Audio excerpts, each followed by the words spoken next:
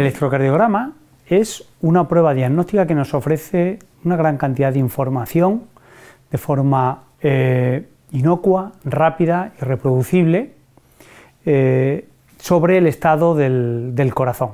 Sin embargo, rara vez las alteraciones electrocardiográficas son patognomónicas de alguna enfermedad. Lo habitual es que una misma cardiopatía puede manifestarse en forma de múltiples alteraciones electrocardiográficas o una alteración electrocardiográfica puede estar presente en múltiples cardiopatías. Esta falta de sensibilidad y especificidad es sobre todo cierta en cuando el electrocardiograma no es interpretado en un contexto clínico, en el contexto del paciente. Durante los siguientes minutos vamos a hablar de las alteraciones electrocardiográficas más comúnmente podemos ver en las consultas de atención primaria y dar unas pinceladas sobre la actitud más correcta en función de la relevancia clínica de dicha alteración. Dentro de las alteraciones del ritmo, es habitual encontrarse con arritmias sinusales respiratorias que ocurren en sujetos sanos, jóvenes, con hipertonía vasovagal. Vemos como los ciclos PP o RR van cambiando de forma análoga a cómo va cambiando el ciclo respiratorio. Encontramos también el marcapaso auricular migratorio, en el que podemos ver cómo la onda P va cambiando de morfología y el PR de duración, y esto podemos verlo en sujetos jóvenes y también en pacientes con patología respiratoria. La taquicardia sinusal no suele eh, reflejar una cardiopatía primaria per se, pero hay que estar alerta porque puede estar poniéndonos de manifiesto otra enfermedad subyacente, un shock hipovolémico, un tromboembolismo pulmonar, una fiebre, un hipertiroidismo, y nos debe hacer eh, estimular para buscar causas que pueden ser más graves que la propia taquicardia sinusal y que muchas arritmias. La bradicardia sinusal, si es asintomática, normalmente no requiere más actuaciones que a lo mejor vigilar si realmente el paciente precisa algún tipo de medicación bradicardizante. Las extrasístoles supraventriculares por sí mismas no suelen enmascarar una cardiopatía eh, subyacente, no suelen estar relacionadas con cardiopatía subyacente a no ser que hubiera otros datos clínicos. Igual pasa con las extrasístoles ventriculares si son aisladas y poco frecuentes.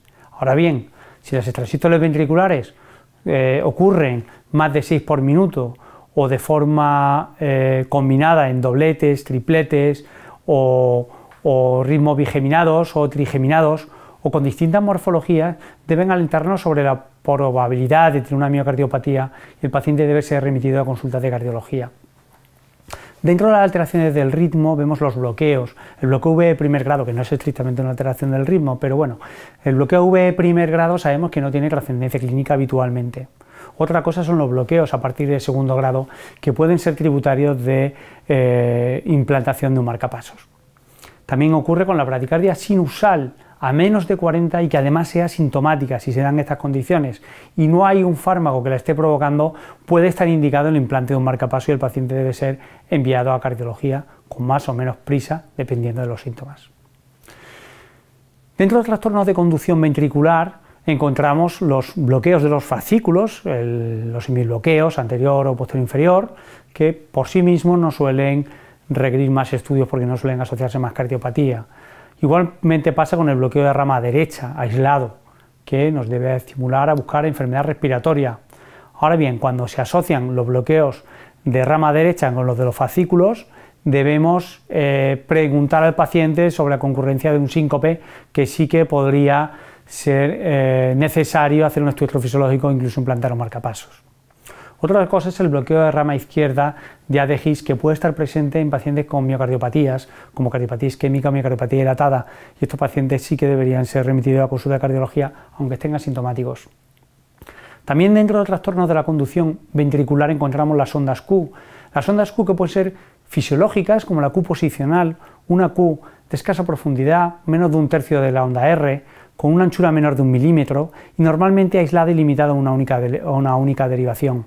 Otra cosa, en el otro extremo están las Q patológicas, que son Qs más profundas, más de un tercio de la onda R, con más de un milímetro de anchura y a veces con muescas, y que deben estar presentes en al menos dos derivaciones consecutivas para ser patológicas.